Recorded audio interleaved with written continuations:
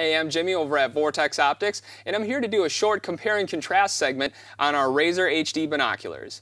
Now, we've had three different models of the Razor HD binocular over the past couple years, and a common question that we've been getting is, what are the differences between them? And that's a very valid question. So let's take a minute and check out the progression of this top-notch binocular. The main upgrades between all of these Razor binoculars were found in the overall glass quality, coatings, and prisms.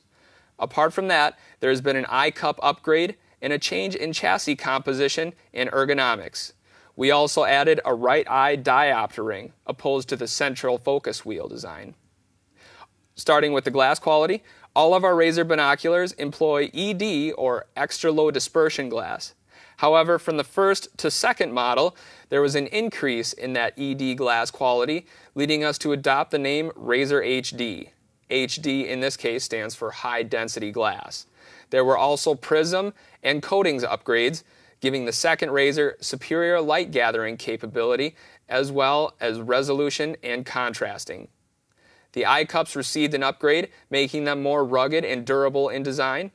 We also moved away from the aluminum to the magnesium chassis design, lending the binocular added strength at a lighter weight. Going from the second to third Razor, we saw more upgrades in glass, coatings, and prism quality, making our latest Razor HD optically superior to the past two. The eye cup stayed as good or better than before, and we kept the magnesium body, which maintained the higher strength at that lighter weight. We went to a true open hinge or short hinge design, which resulted in better ergonomics by leaving more room for the user's hands and less bulk overall.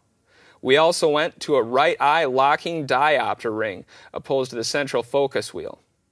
Well, thanks for watching, and I hope this compare and contrast segment was helpful for you in understanding the differences in each of our Razor HD binoculars.